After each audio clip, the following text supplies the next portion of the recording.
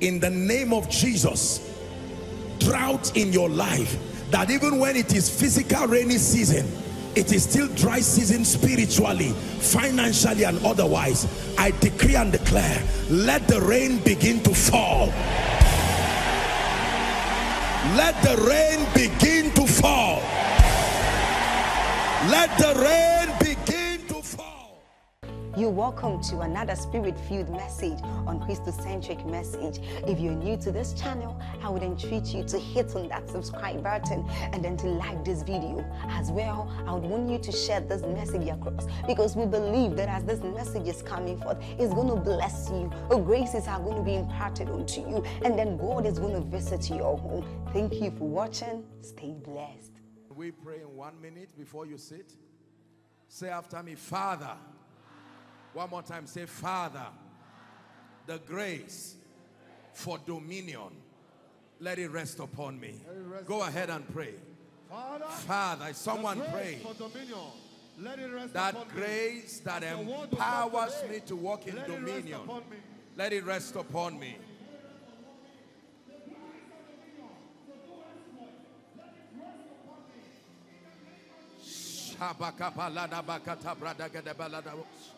Someone is praying.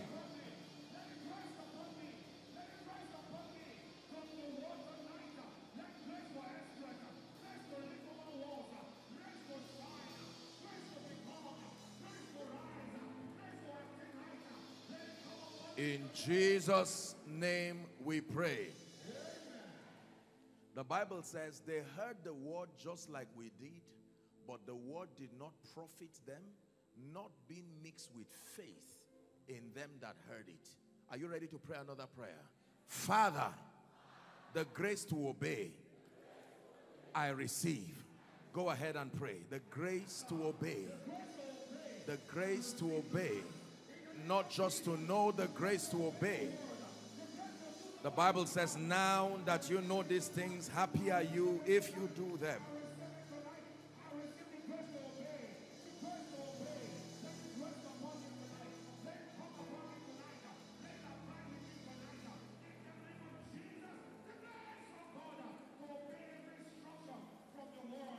For in Jesus' mighty name we pray. Father, we thank you because you'll speak to us one more time and change our lives. It is true that the entrance of your word gives light and let it give understanding to the simple. Bless our hearts and be exalted in our midst. For in Jesus' mighty name we have prayed. God bless you. Please be seated with a loud hand clap unto Jesus. Amen. Thank you for this honor. We'll go straight to the word. I believe that the Lord wants to speak to us, challenging our hearts tonight along the lines of this theme. It takes knowledge and understanding to walk in dominion. And every time God wants to empower a people, the starting point of that empowerment is His Word. The value of the anointing of the Holy Spirit is that it comes upon a life that is full of understanding. In ignorance, you will not be able to reveal the full potential of the power and the grace of the Spirit. Hallelujah. Amen. First Peter chapter 2 and verse 9. My goodness.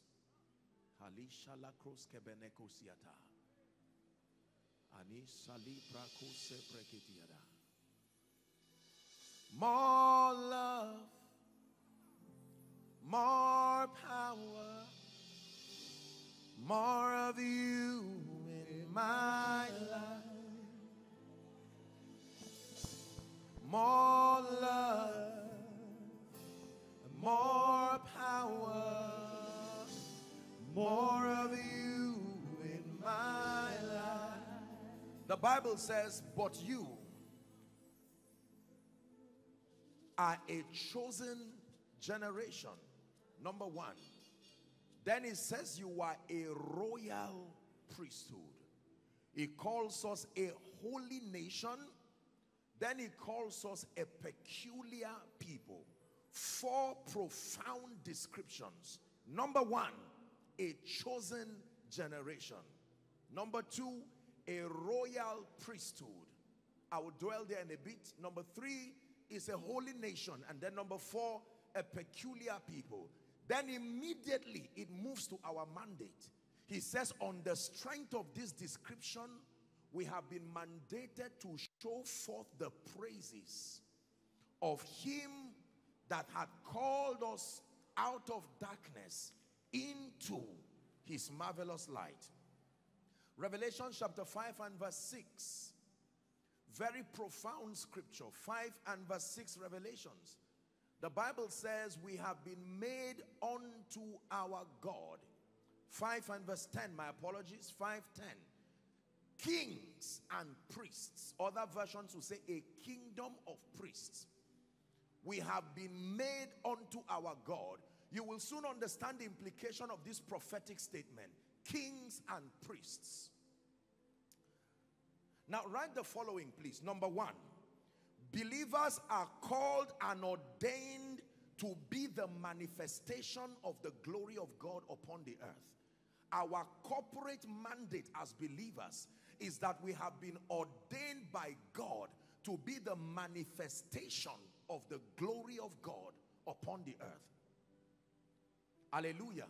Do you believe that?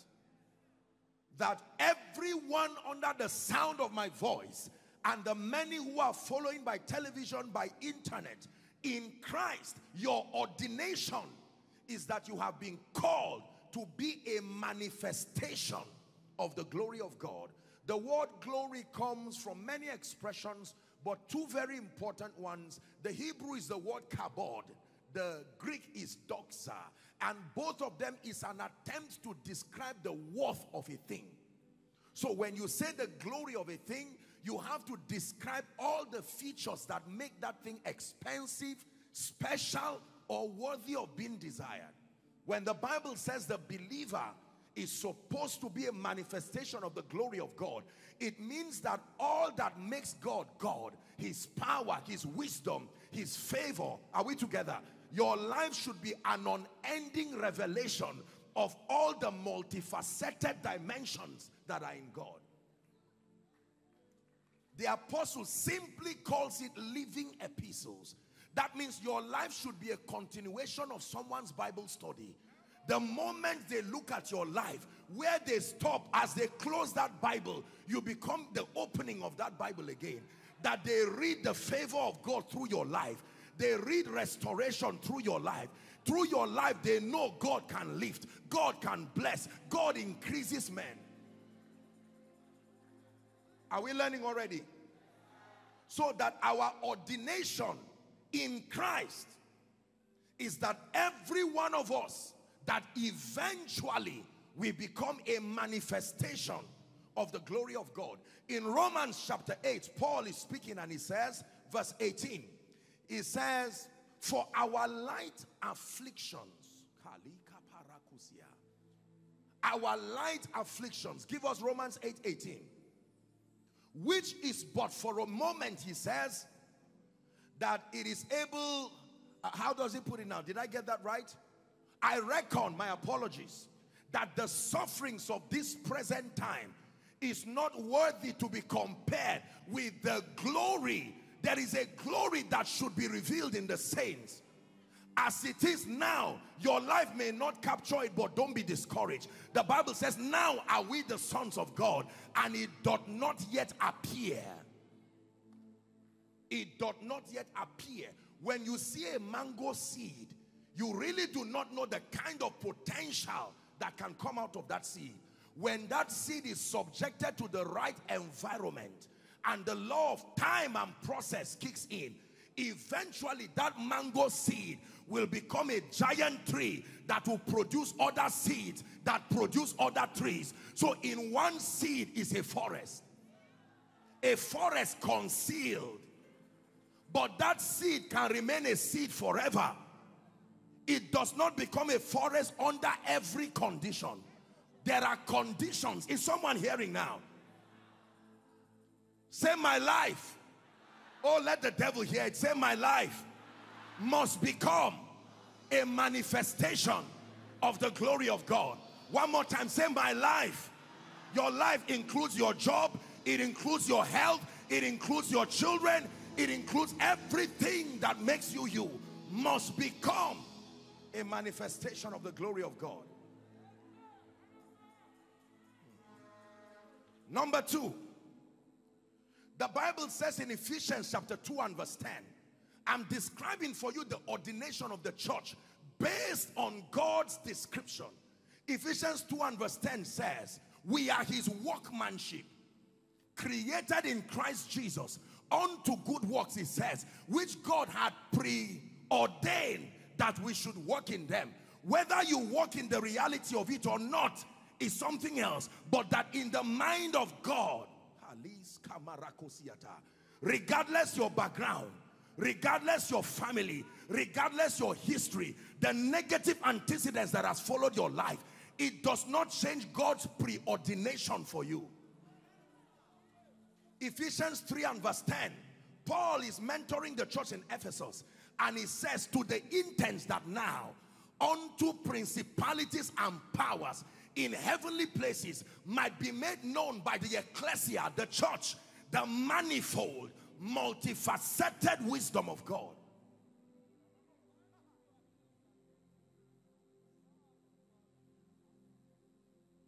So we have been ordained by God to be a manifestation of his glory. Now, the second thing I want you to learn tonight, and please pay attention, is that the manifestation of God's glory in any life, in any territory, and in any destiny depends not just on the will of God, but your adherence to divine patterns. Patterns forerun the glory of God. Just because it is your preordination to walk in dominion does not mean you will walk in the experience of that prophecy. There are many things God said in the Bible that did not come to pass. Because midwifing prophecy and manifestation is adherence to divine patterns. Leviticus chapter 9 and verse 6. Is God helping someone? In this revelation will be the answer as to why you are asking, why is my life like this? In spite of the dreams, in spite of the vision, in spite of this team, kings and priests. Let's read together. Revel Leviticus 9 and verse 6. Are you ready? Read it as loud as you can, if you can see. Ready? One to read. And Moses said, uh-huh, this is the thing which the Lord commanded that ye should do, and the glory of the Lord shall appear unto you. It will not just come because of desire. It will not just come because of prophecy. There is a if you do not adhere to that pattern, you cannot see the glory of God. Listen, every possibility in the kingdom is connected to a divine pattern for its manifestation. Health, wealth, influence, increase. All of the dimensions of God's glory, they do not just happen because it is the will of God. They happen because the saints have a thorough understanding of his patterns and obtain grace to walk in keeping with his patterns. If you're following, say amen.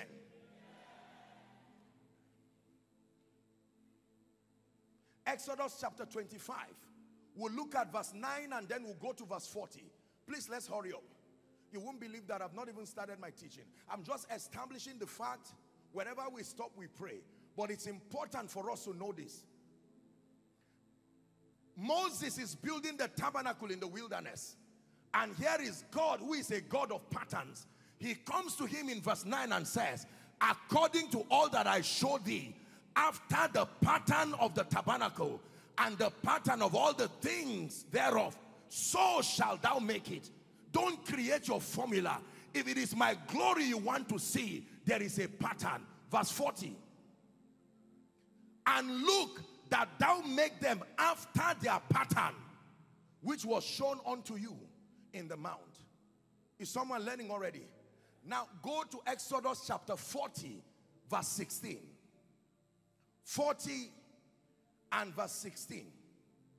Then we jump to 33. I hope you are not tired of the word. The Bible says, thus did Moses, according to all that the Lord had commanded him, so did he. Now verse 33. He's building according to pattern. Reading to 35. And he reared up the court round about the tabernacle and the altar and set up the hanging of the court gate. So Moses finished according to pattern. The result, and a cloud. A cloud covered the tent of the congregation and the glory of the Lord filled the tabernacle. 35. And Moses was not able to enter into the tent. Why? Because the cloud abode thereon and the glory of the Lord filled that tabernacle. Every time you see the manifestation of the glory of God in a life, in a church, in a territory, it is because his patterns have been kept.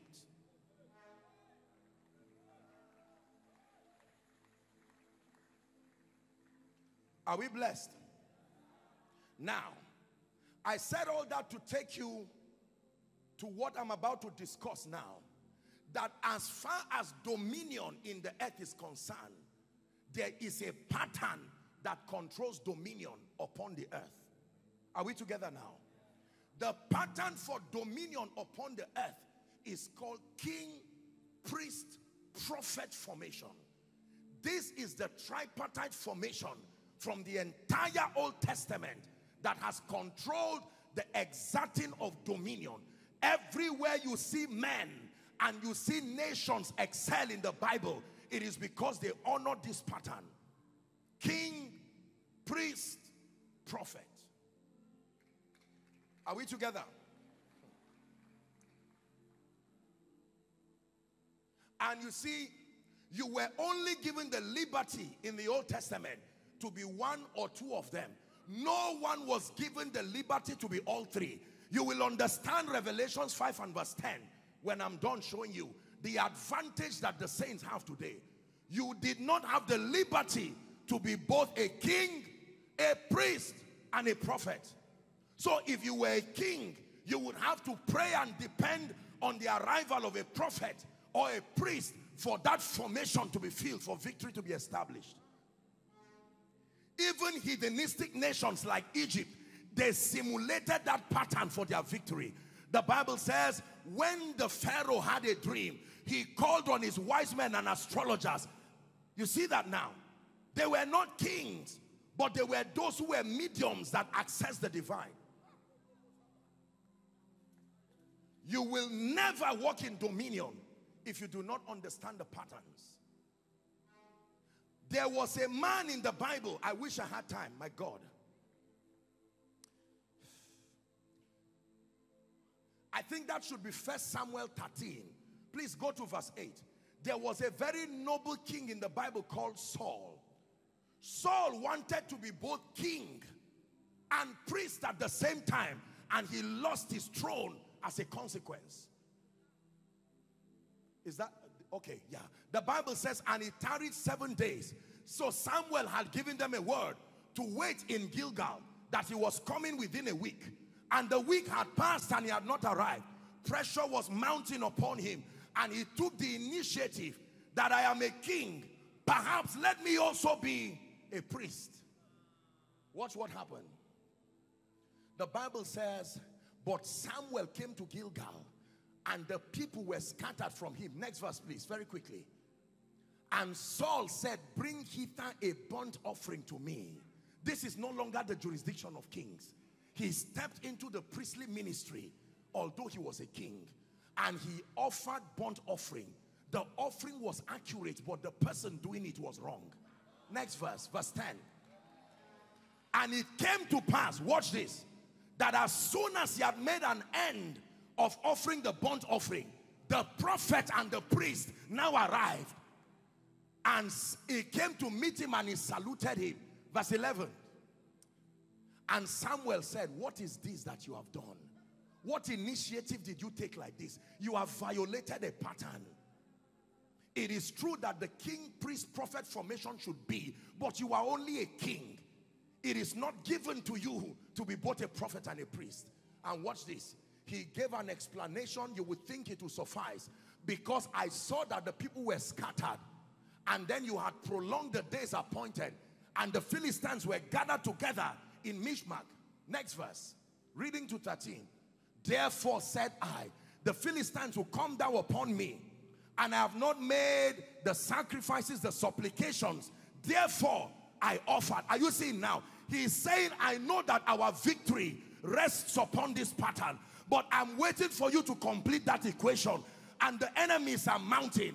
The king is there, but the priest is not yet there. The prophet is not yet there. So dominion cannot happen. So I took initiative, my God.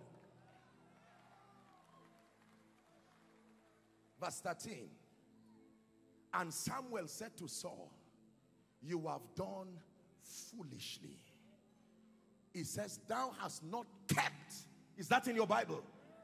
You have not kept the commandment of the Lord which he commanded. For now, the Lord would have established thy kingdom forever. But because you violated this pattern 14, watch this. Give us 14. Now your kingdom shall not continue. And the Lord had sought him a man after his own heart. And the Lord had commanded him to be captain over his people for the simple reason that thou hast not kept the patterns. Please be seated.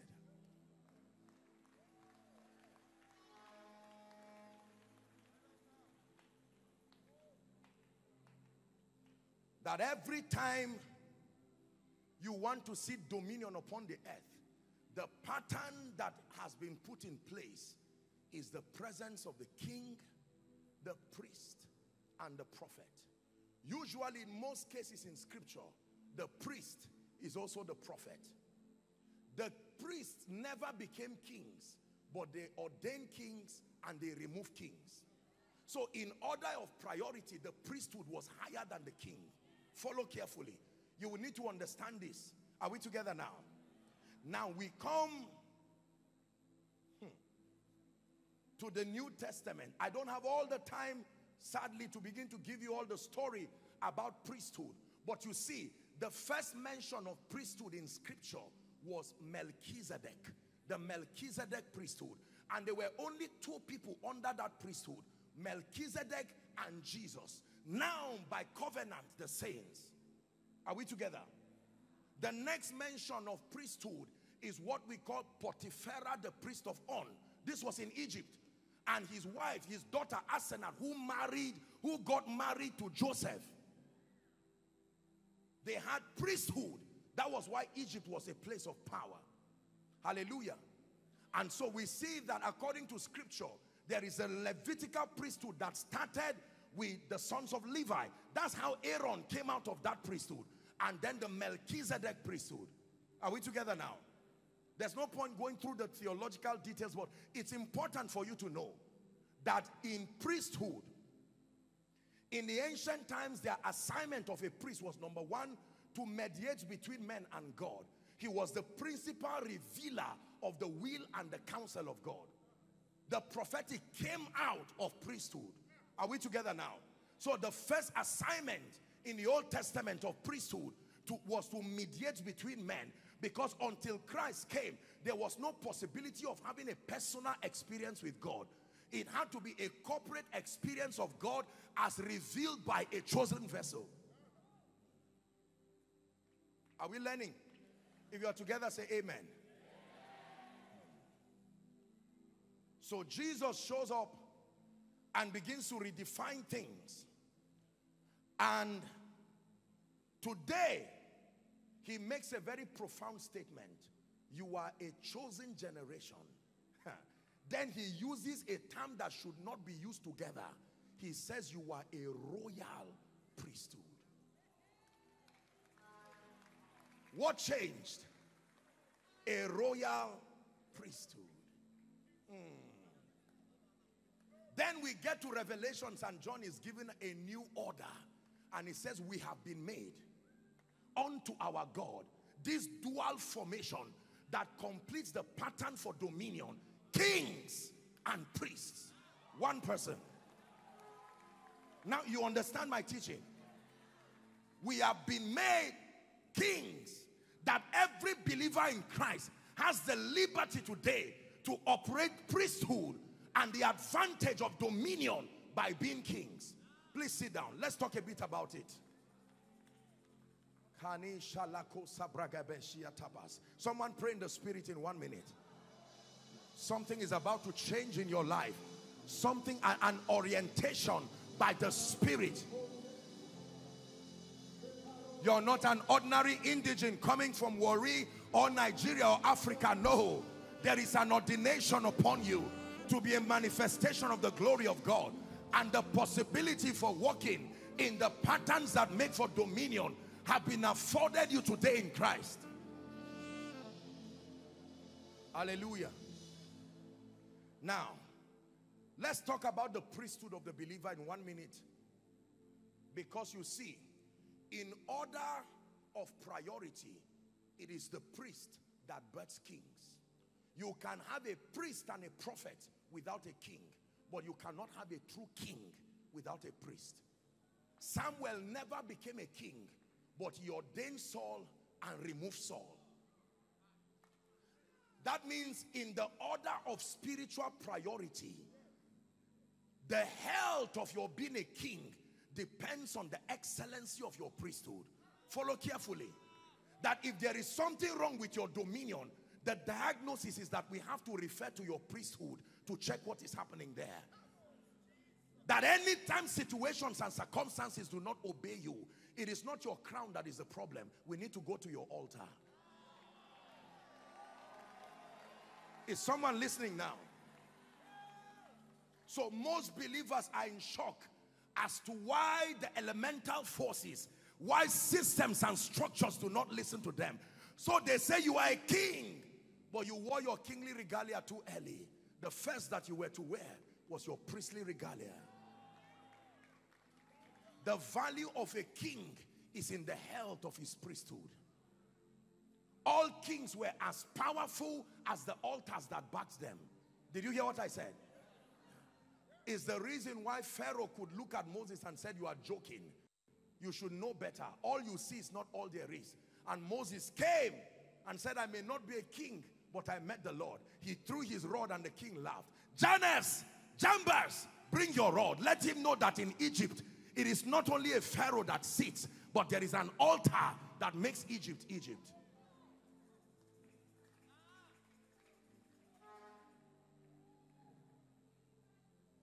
Are we together? Now, today for the believer, please listen, and I want you to write. Today for the believer, your priesthood is a holistic capture of all the spiritual activities that make for your knowing God, your encounter with him, and your transformation. When we say priesthood for the believer, we are describing the entirety of the activities you engage in that culminates to your knowing God and culminate to your transformation. Are we together now? When we say you are a priest, we're not talking of the one who offers burnt offerings like it were before. But now we are describing it's a holistic capture of all the spiritual activities that make for your intimacy with God, your conformity to the image and the character of the Christ in experience, and then your transformation. The tools that make you a king are only found when you become a priest. Let me say it again. The tools that make you a king are only found in the place of priesthood. I'll repeat it one last time. The tools that make you a king are only found in the place of priesthood. If you ignore priesthood and you want to be a king, you will be a king without a crown and a scepter. The crown and the scepter is not found in the palace, it's found in the secret place. So when the Bible says we have been made unto our God kings and priests, it is the pattern for dominion. But you need to understand that in order of spiritual priority, priesthood is what births kingship. The value of being a king is on the strength of your priesthood. Are we together? Therefore, your priesthood today describes the health and the strength of your prayer life, your word study life, your fellowship with the Spirit, your sacrifice. These are the spiritual activities. That was the apostolic model of priesthood that was given to us in Acts chapter 2 and verse 42. They continued steadfastly in the apostles' doctrine and in fellowship, in breaking of bread and in prayer. Acts chapter 6 and verse 4. But we will give ourselves continually to prayer and to the ministry of the word. You are not a priest until we examine the health of your prayer life, the health of your word study life, the health of your participation in the house of God because there is a blessing that is only found when believers are gathered. Psalm 133, for there the Lord had commanded the blessing, even life forever. No matter how you know God, there is a dimension of him you will never know until you are in the corporate gathering of the saints. Are we together? So when you say you are a priest, it is a title that does not earn any respect in the spirit until it is powered by your prayer life, powered by your word study life. There are many people who claim I am a priest, but it is clear that life has refused to respect that honor and that title because it is not a blind title, it is a call to responsibility. If you say you are a priest, whether serving the devil or serving God, one thing is common between them. There is no laziness. Both are a call for responsibility. Am I right on that? Whether it is a, an evil priest in the village, they are not lazy people. There are things common between all priesthoods, regardless who you serve. Prayer, but we will give ourselves continually Ladies and gentlemen, you want to stir up and stand in the position of priesthood, you have to master the mysteries of the altar. Situations and circumstances will not bow to you because of your name. They have no regard for your face. They respect the fire that burns upon your altar. Is God speaking to someone? So do not say you are a priest until you have invested time building in prayer. And I wish I had time, I would have taught you according to scripture, there are four assignments of prayer. Number one, and the major assignment of prayer is for your growth and transformation. Luke 9 29. And as he prayed, the Bible says, the fashion of his countenance were altered, and his raiment became white and glistening. Assignment number two of prayer is a platform for making requests and obtaining promises. The Bible says, and what things soever ye desire, when ye pray, not when ye wish, when ye pray, believe that thou receivest them and thou shalt have them. Assignment number three for prayer is as a tool for spiritual legislature. Hmm. Are we together? The Bible says, declare thou that ye mightest be justified. Number four, the fourth assignment of prayer is as a prophetic tool for warfare and intercession. And I sought for a man to stand in the gap. And there was none. That should be Ezekiel 22 and verse 30, 31. Hallelujah. Satan had desired to sift you like wheat, but I have prayed for you that your faith fail not. And when you are converted, use that same formula to strengthen your brethren. That every time you see an attack, according to James 5:13, is any man afflicted? Let him pray. You are not a priest if you do not build the altar of prayer. Number two, your soundness in scripture is what gives you authority in life. The word authority comes from the Greek word exousia. And that word is a summation of your understanding. Authority, exousia, means the capacity to stand in the stead of another. And that happens upon the strength of light. Isaiah 60 and verse 1 says, Arise, shine. Not because you are tired of sitting there. It says, for thy light has come. Amplified says, arise from the depression and the prostration that circumstances have kept you. Rise to a new light. Hallelujah. We rise in this kingdom upon the strength of the mysteries that we have. Matthew chapter 13 and verse 10, 11. It says it has been given unto you to know the mysteries of the kingdom of heaven. Galatians chapter 2 and verse 2. The apostle said, I went up by revelation. Is God speaking to someone? And so, number one, your prayer life. You want to be a priest indeed, you must have high level spiritual illumination. John 1 5. That is that. The Bible says, in when you read Genesis chapter 1 and verse 5, the Bible says, God called the light day. And he called the darkness night. Watch this. He never called evening darkness. He called the absence of light darkness. That means even if it is 12 midnight in your life and you have light in the spirit, you are in the day. Are we together now? So that the realm of the spirit does not work with chronological time. No. If it is 6 p.m. in my life, I am still a custodian of light. It is day. And the Bible says there is a relationship between darkness and weeping. That weeping endures for as long as there is night, the absence of light. He called the light day. So if you catch a revelation by 10 p.m., your night has become day.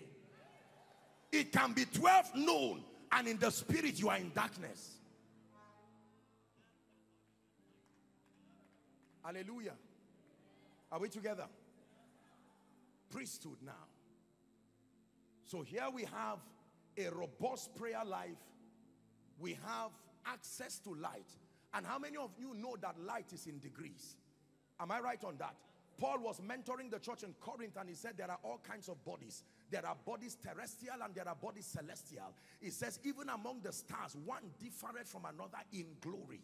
Not in size, in glory. Have you gone to an expensive store and you see something so small, annoyingly small, and you make a mistake of touching it and they tell you a price that you almost want to rebuke the person speaking. Am I right on that? Then you'll see another looking like a statue taller than you and is almost next to nothing. The difference is not the size, it's the glory that is hidden in them. Women know this. I hope men understand. Women can carry jewelries so small, so tiny, and they tell you this is pure gold, 24 carats, and they call a name that you almost want to block your ears. One different from another in glory. Watch this. The moment light goes off in your house, notice how you begin to switch different lights until you finally on the light you desire. You start with maybe your phone light. It used to be candle, but now we've gone past candle. So phone light is not enough to turn the room into night, but is enough for you to take the first step. The phone light leads you to the generator room. Am I right on that? The moment you get to the generator room, you have to use the phone light as small as it is to maybe put your diesel. And then when you switch it on, you off the phone. Am I right on that? And then the generator is there. And sometimes the generator can run until 6 or 7. The moment sunlight comes, you off the generator in most cases. Because a higher dimension of light has come. Now, I said that to tell you this. The Bible says he made two great lights. There were many lights he made, but he made two great lights. One to rule the day and the other to rule the night. There are lights that help you rule in the day and there are lights that help you rule in the night. I'm praying for someone here. Your appetite for the word that puts you in a place of understanding, may that grace rest upon you. I stand upon the grace on this altar and I prophesy to someone your days of ignorance that has punished you, recycling seasons of pain, may it come to an end now. Say, I am a priest. Let the devil hear you. Say, I am a priest. I am a priest means I make up my mind to be committed to prayer. I am a priest means I make up my mind to be committed to an understanding of scripture. I am a priest means I make up my mind to give myself to fellowship with the spirit and the saints. I am a priest means all the sacrifices that priesthood demands, I am willing to make for it. This is priesthood for you. Let me show you five rewards of priesthood and they all happen to be the tools you need to be a king. One, is God helping us? If you're a man of God here with all due respect, please listen to me. If you do not understand these elements of priesthood, you may not find yourself walking in dominion. It says they know not, neither will they understand. They walk on in darkness and all the foundations of the earth are out of course. Psalm 85 and verse 6 says, I have said, in spite of your experience, I have said, ye are gods and all of you are children of the Most High. Verse 7 says, but you shall die like mere men and fall like one of the princes.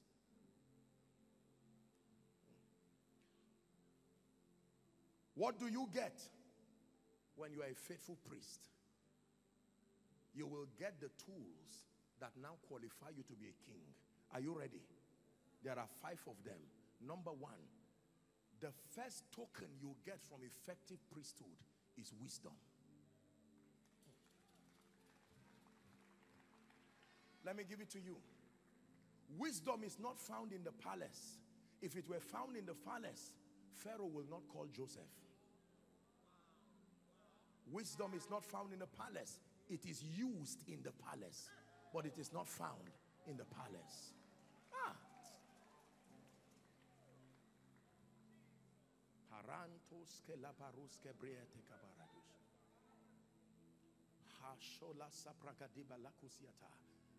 As I just turned, I just saw light, and I'm I'm seeing I'm seeing the number five. And the Lord is telling me that there are five people here by the Spirit of God. You have prayed and you have fasted. Watch this. There is the spirit of prophecy on five people. Please, I want you to pick those five people now and bring out for me. I want to stretch my hand. I just saw that light. In the name of Jesus, I don't know where they are, but wherever you are, you have been walking with God in the secret place. And the Lord is saying, Your season, please bring them out. I stretch my hands. Let that fire, let that light, wherever you are, by the Spirit of the living God.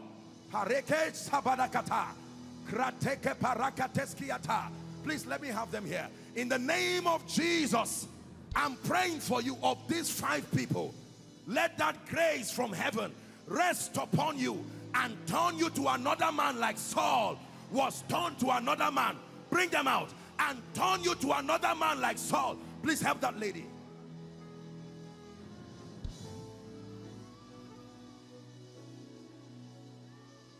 Can I teach you a little song in this church? Hi, hi, hi, hi. Glory be to God. Hi, hi, hi, hi. Glory be to God. Hi, hi, hi, hi. Glory be to God. Bring them out. Hiya, hiya, hiya.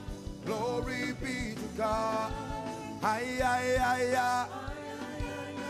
Glory be to God. Hiya, hiya. Glory be to now listen. Hallelujah. Hallelujah. Glory be to God. Hallelujah. Hallelujah. Glory be to God. Ay, ay, ay, ay. Glory be to God. Is someone learning? Please bring for me three people who will start running. Whether you are an usher or not, just hold them. Is the grace for speed that is coming on someone. Hold them and bring them to the front now. This is happening by this. Help them, please. No, no, no, no, no, gentlemen. This is not in the flesh. The hand of God is coming upon them. Please guide them, ushers. Shabakatapaka. Embreketas kotebashiata. Are you still watching me or you are praying in the spirit? That as this is resting upon people, we're standing upon the grace upon this altar. Ah, you must be a beneficiary of this grace. Help them, please. Anyone under the anointing as such, hold them so they don't injure themselves. Please, whether you're an usher or not.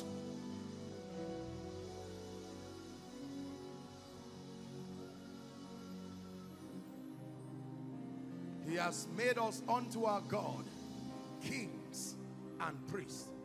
Please sit down if you can. I need to give you this so that we wrap up. The first token you receive as a result of the strength of your priesthood is wisdom. And the Bible speaking now of wisdom, it said, by me kings reign and princes decree justice. Princes rule. With me are riches, wealth, and honor, yea, durable riches and righteousness. Doth not wisdom cry? Show me a man that has invested in his priesthood. I show you a man who have wisdom like that of the gods. Daniel the priest became Daniel the king. And the secret was revealed unto Daniel. Is someone learning now? That when we invest in priesthood, meaning our prayer, meaning the study of the word,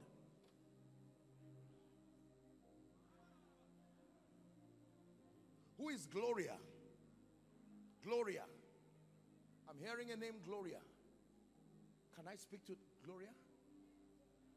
Gloria. What do you do, madam? Aye, aye, aye, Glory be to God. Hallelujah. The Lord is showing me a woman, one, two, three, four, five, six years. You've been trusting God for the fruit of the womb. This is what I'm seeing. Six years. Please don't just come out at random. Let's be organized. We are working with time. I don't know who that person is, but I'm seeing you are wearing like red. Is it a red cloth or something? Please, ushers or whoever, officials, just confirm so we don't have people making this place rowdy. I want to pray for you. Gloria. I presume there are so many people I want to pray for you that the plague of death, the plague of death, the plague of death will come to an end. The plague of death, death over your family will come to an end by the Spirit of the living God. Who is she? No, no, there are many Glorias here. It's not just one person. In the name of Jesus Christ, there's someone who has been trusting God for the fruit of the womb. Six years. What is your name? Huh? I want to pray for you. I'm not hearing her, but I'm hearing, is this mic working? Who is gift? Gift. What is your name? Gift. What's your name? Gift. Gift. God gift. I want to pray for you. You are married? Yes. How many years? You've been trusting God for the fruit of the womb.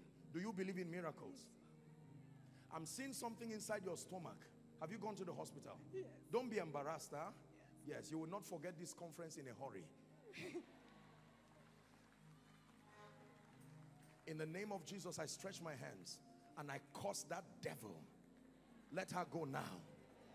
In the name of Jesus Christ, I decree and declare, let that anointing rest upon you and according to the time of life, like Elisha prophesied to the woman in Shunem, in the name of Jesus, may God give you the miracle of fruitfulness. I use as a point of contact to pray for everyone here, trusting God for the fruit of the womb, for yourself or for your loved ones. In the name of Jesus, may my God, who is also your God, may he visit you. May he visit you. May he visit you. According to Genesis 21 verse 1, and the Lord visited Sarah as he has said, and the Lord did unto Sarah as he has spoken. May my God visit you.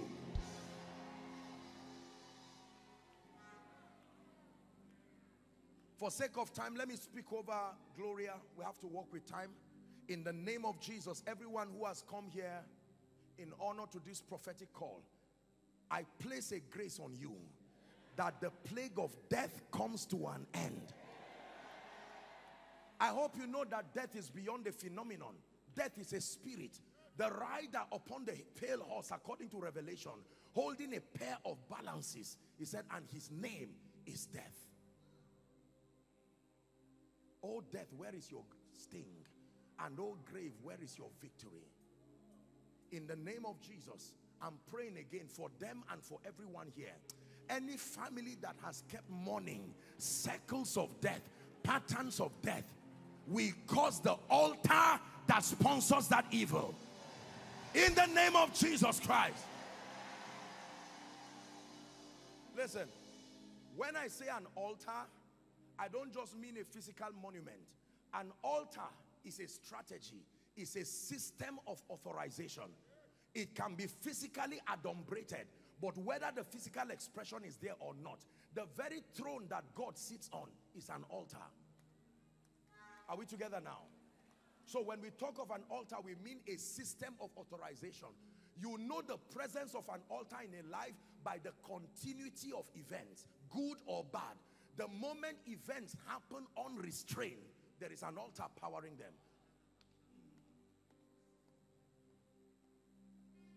In the name of Jesus Christ. Please return to your seat. Let's finish this.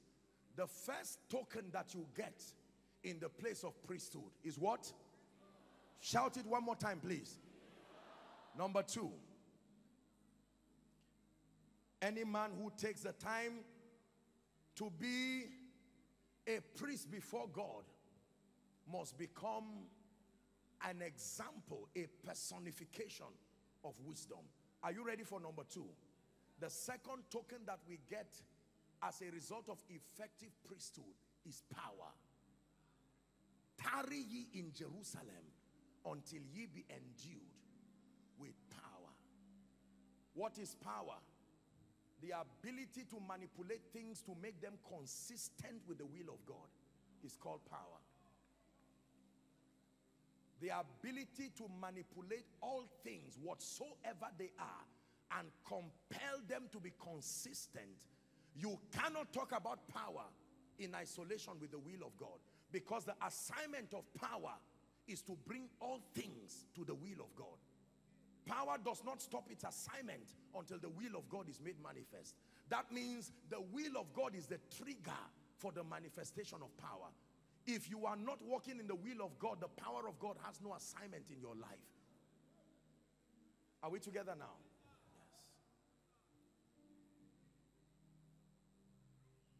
Somebody say power. Power is very important because it takes the power of God to subdue the forces of darkness that attempt to fight the purposes of God in the lives of believers. Psalm 66 verse 3, say unto God, how terrible art thou in thy ways. It is through the greatness of thy power that thy enemies submit themselves to you. Enemies do not listen to discussions. It takes power.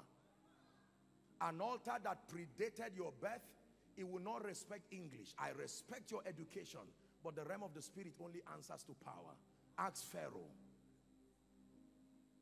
Pharaoh said, Moses, you came to me speaking and asking me to bring people who had been in captivity before you were born. You are joking. And Moses said, end of discussion. I'm not here to waste my words. Power will do the speaking. Power is an evangelist. There is a sermon only power can preach and there is an audience that has been designed to listen to the sermon that power brings. Can I tell you, by the time you are empowered of the Spirit and God uses you to rewrite the narratives of your family members, even those who are not saved, they will run to Jesus. It takes power. The Bible says in Acts chapter 4 and verse 33, with great power gave the apostles witness of the resurrection of the Lord Jesus and great grace was upon them all. It takes power. Number one, wisdom. Number two, power. Are you ready for number three? Hmm. The third key or the third token that you get in the secret place is favor. Favor is the number one reason people succeed as kings. Wealth is an expression of favor. When favor and wisdom work together, they equal influence, they equal wealth. The proof of favor is not money. The proof of favor is loyalty of the heart of man. You can have money through productivity. It does not translate to favor. If God does not favor you, many things will not happen to you. Even speed is a function of favor. My goodness, I wish I had time. Let me show you something. Esther chapter 2 and verse 9. Esther 2 and verse 9. Hmm. Please read with me. I will ask you to stop somewhere. Let me show you what favor can do. Are you ready? And the maiden pleased him, the maiden being Esther, and she obtained what? Favor of him. What was the result? And he speedily gave her. Stop there. He did what? He speedily gave her. There are some of you people want to give, but they are too slow relative to your destiny. Favor becomes your accelerator factor. He speedily gave her. Look, listen, destiny is a function of time. You don't have all the time for everything. There are things that must arrive early. He says, satisfy me early. He speedily gave her. He speedily gave her. Does that look like someone's prophecy tonight? In the name of Jesus. I don't know what has delayed the manifestation of prophecy. But we stand tonight as prophetic midwives and we declare, may you be speedily given. Speedily given. Speedily given. She obtained and he speedily gave her. Number two, same Esther chapter 2 and verse 15. When you read the B part, ladies and gentlemen, there were many young ladies that were there being prepared to meet Ahasuerus. But when favor is upon you, the last sentence, read with me as loud as you can. And Esther obtained favor in the sight of how many? Not all them that wanted to bless her, all them that looked upon her. That when favor is on you, it's almost like a charm. Provided a man looks at you, they are compelled to reach out to you. The Bible never said that they wanted to give her, but because there was that mantle,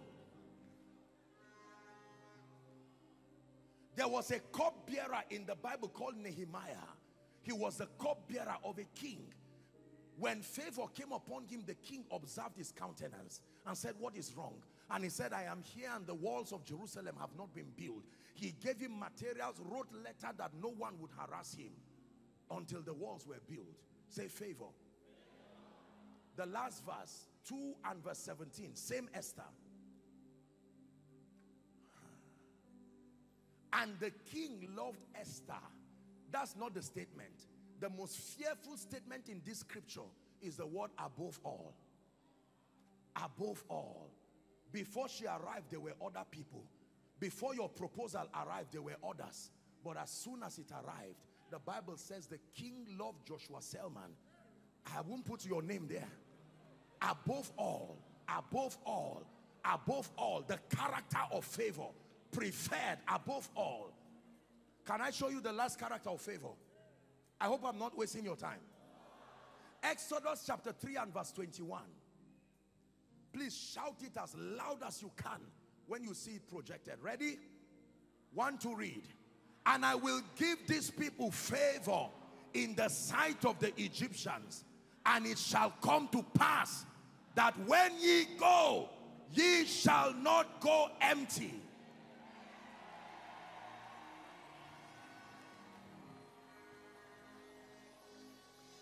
In fact, I feel like giving business people one more scripture.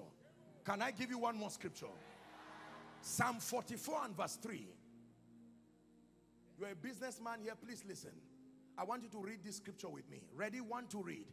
For they got not the land in possession by their own sword, neither did their own arm save them, but thy right hand and thine arm and the light of thy countenance because thou hadst a favor.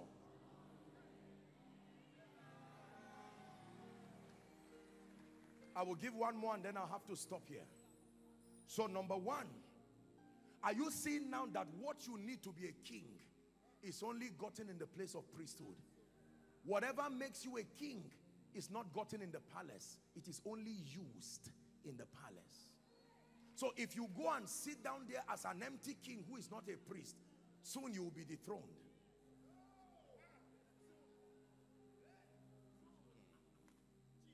It is priests that dethrone kings.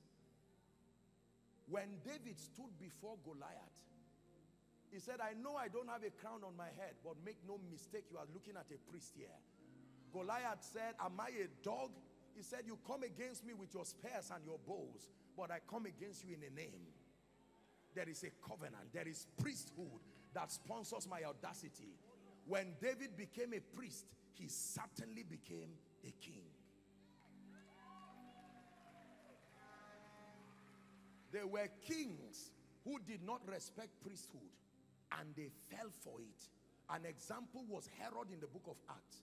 He did not know the power of priesthood. And when they caught James and beheaded him, they, he saw that it pleased the Jews. The Bible says he made up his mind to vex certain Jews. And the church where they neglected their priesthood. And oh dear, every time the church neglects priesthood, something will happen within the cosmos. But if the church does not understand the value of priesthood, they will stop as priests and not become kings. The journey is not supposed to end with the altar. It starts with the altar, but it ends in the place of dominion. When Jesus was exalted, he did not remain savior forever. He sat at the right hand. That was the final destination. Albeit, he's still making intercession. Priesthood is still there. He sat at that seat as both king and priest. Hallelujah. Number one, wisdom. Number two, power. Number three, favor. It is favor that makes men to come to you. Let me give you the last. Honor. There are many, oh, I will stop here. Honor. Do you know the assignment of honor? Honor is the principal requirement for commanding influence. You cannot have influence if you don't have honor. You know what influence is? The ability to make men buy into your ideologies without using force or cruelty is called influence. And you cannot become a leader if you lack honor.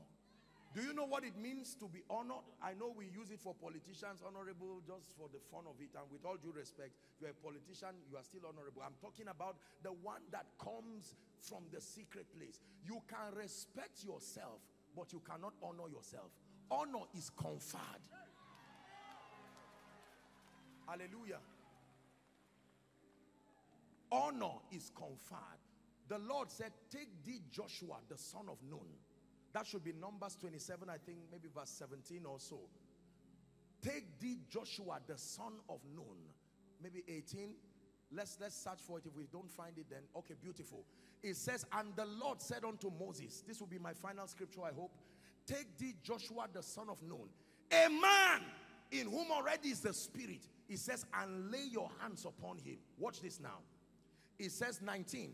We're reading to 20 and set him before Eleazar the priest and before all the congregation and give him charge in their sight but they will not listen to Joshua he's a young man here's the secret to the dominion thou shalt put some of thy honor upon him why that the congregation of Israel may be obedient pastor your members will not listen to you because you have zeal but you do not have honor. A generation will never hear you just because you have revelation. It's a grace for honor that compels loyalty. If you're a Christian politician here, please listen. Let me show you a big secret. You need more than posters. You need honor. Otherwise, people will collect your, your money and mock you and make a fool out of you. Anyone here who has suffered shame and reproach, in the name of Jesus, I stand in partnership with the grace upon this altar. May this grace called honor, let it rest on you. Shout a loud amen. Let it rest on you. Now, watch this. So I'm submitting myself, Daddy, to prayer.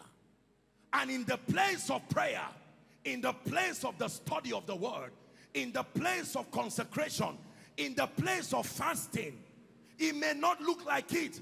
I may come from any village around Warri, any village around Nigeria, it does not matter. The moment you begin to engage priesthood, the tokens that make you a king start arriving. Wisdom starts arriving. Power starts arriving. Favor starts arriving. Honor starts arriving. And with these tokens, you are decorated with royalty after the order of Joseph. And you are given a seat in the cosmos. And hear me, when you sit down there, you sit as a man of authority. How do you know you're a man of authority? The centurion taught us. For I am a man of authority, having soldiers under me. I said to one, go, and he goeth. I said to another, come, and he cometh. When you tell things go and they don't respect you, when you tell things come and they don't respect you, you are not a king. And the problem is not your crown and your scepter. The problem is that your priesthood has not powered your throne. Let's finish. You are a chosen generation,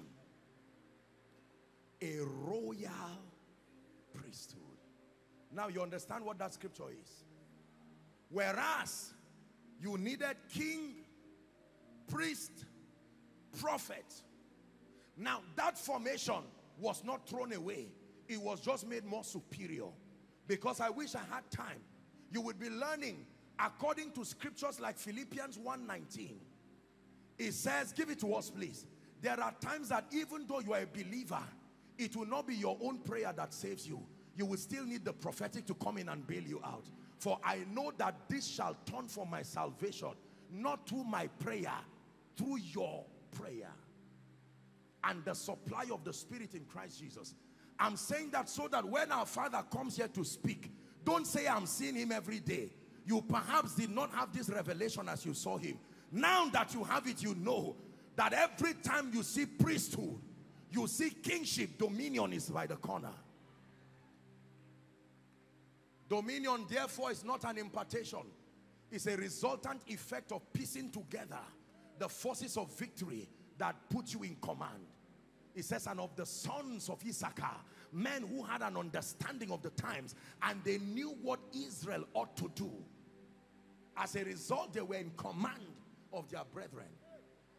Is this a good place to pray? Please rise up on your feet.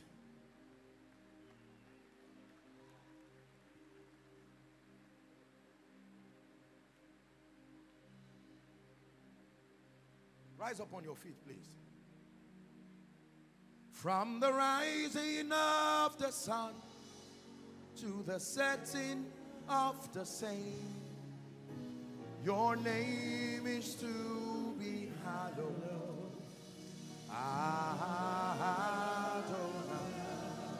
From the rising of the sun to the setting of the same. Your name is to be hallowed.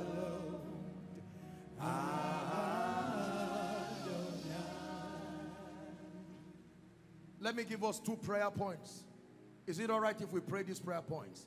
Shout it as loud as you can, as though you mean business with seeing the glory of God manifest in your life. Say, Father. Father. One more time, say, Father. Father. In the name of Jesus. I decree and declare fresh fire upon my prayer life, fresh fire upon my word study life, the grace for sacrifice. Go ahead and begin to pray. All that will make me an effective For priest. I obtain grace. upon my Come on, life, someone is praying. upon my Word of life, life, are you praying? upon my study life. Warrior, are you praying? Fresh fire. Let it fall upon my fire. My, my, my Fire spirit.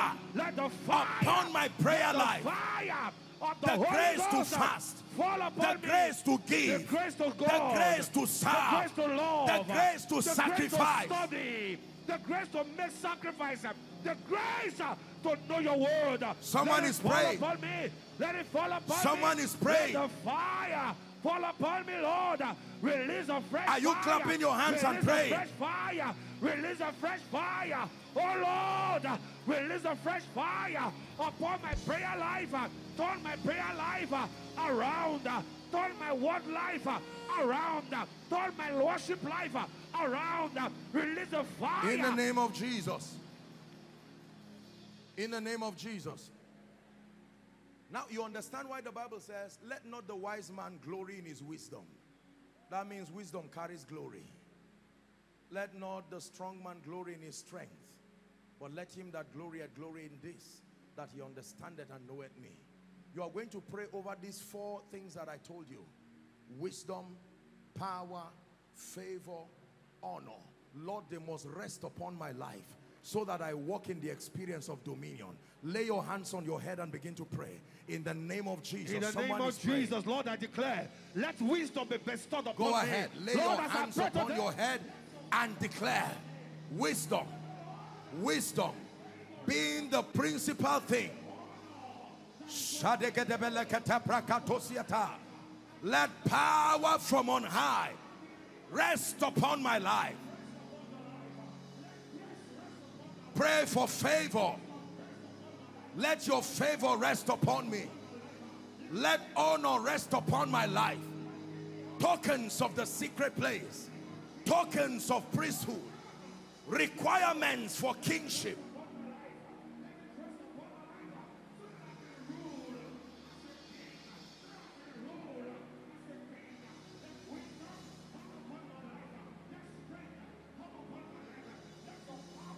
For in Jesus' name we pray. I decree and declare, standing upon the grace of our Father upon this altar, in the name of Jesus, for someone who came here for this convention, you came here with your heart opened. I stand and I speak over your life. Whatever has brought your prayer life down, whatever has destroyed your zeal for the things of God, may it be fanned to flames now. May it be fanned to flames now. May it be fanned to flames now. Number two, I pray for you and that from the depth of my heart. That in the name of Jesus, the discipline to pray, the discipline to study until you show yourself approved, the discipline to fast, the discipline of consecration, the discipline to give yourself wholly, that your profiting appears unto all. May that grace rest upon you. And then I'm praying for you. Authentic wisdom that speaks. Let it rest on you. Power from on high that puts you in command of situations and circumstances. May it rest upon your destiny. Favor that opens strange doors, mysterious doors, commanding access, commanding acceptance, bringing unusual kindness to you. Receive it in the name of Jesus. And finally, the grace for honor. Honor is the ability to be perceived and to be rewarded to match your true value. It's called honor. If you are not perceived and rewarded to match your true value, it is not honor. I pray for you. There are many of you who you are like Mordecai. You've saved the life of the king, but you've not been rewarded because honor is not upon you. Tonight, I open the book of remembrance in the name of Jesus Christ. Praise God. Now, my time is up, but please let me plead that you lend me one minute. The foundation for priesthood is that you have an encounter with Jesus, the Son of the living God. Here's what the Bible has to say. That there is no other name under heaven that is given unto men by which we must be saved. Some trust in horses, others trust in chariots, but my Bible says We trust in the name of our Lord. There are many people who are around church, maybe even workers in church with all due respect. Being around the house of God does not translate to salvation. It opens you up to have the potential to be saved. But the only way to be saved, believing a man of God, may not give you salvation. In fact, does not give you salvation until you believe the message. There's someone here, perhaps you were invited or you've been around this city and on hearing me speak, the Spirit of God began to move upon your heart, telling you that it's time to win that war of destiny and to make a sincere decision for Jesus. There are others you will say, Apostle, I love Jesus, but it looks like in the last one year, my life has gone haywire. I cannot say that I've been consistent with my walk with God. Wherever you are, I want to give you one minute. I want you to leave your seat boldly and come and stand before any of the aisles here, just close to the altar. Hello. Scriptures exhort us from the book of Proverbs. It says, My son, attend to my sayings, incline thy ears to my words. Let them not depart from thy eyes, and keep them in the midst of thee. As you have listened to this message, we believe that you are going to reap the blessings thereof if you attend to these words as well. That you will keep these words in the midst of your heart. That no matter the circumstance, your eyes are going to be fixed on these words. And as you have been blessed, we will tell you to share this message. Be an evangelist by sharing to others to be blessed. And then subscribe to this channel for us because we have loads of videos, we have loads of content that is going to make you blessed, that is going to set you on course, that is going to set you ablaze. And don't forget to like for us. Thank you.